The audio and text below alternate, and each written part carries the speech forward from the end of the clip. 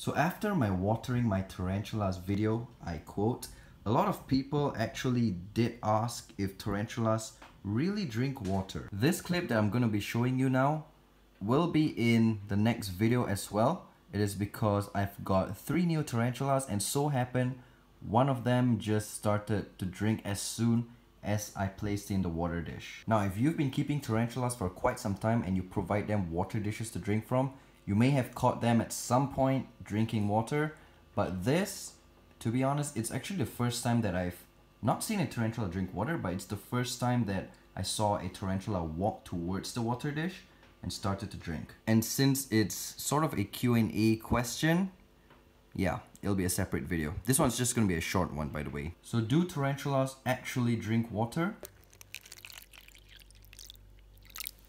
Oh yeah. Beautiful. Truly beautiful. Are you thirsty, girl?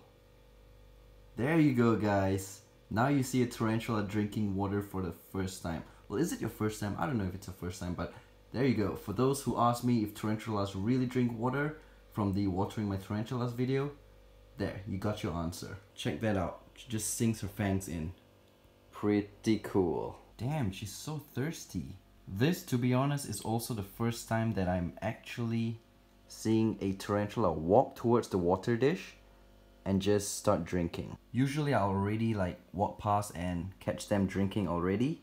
So witnessing this guys, it's just awesome. So now you guys know that tarantulas drink water.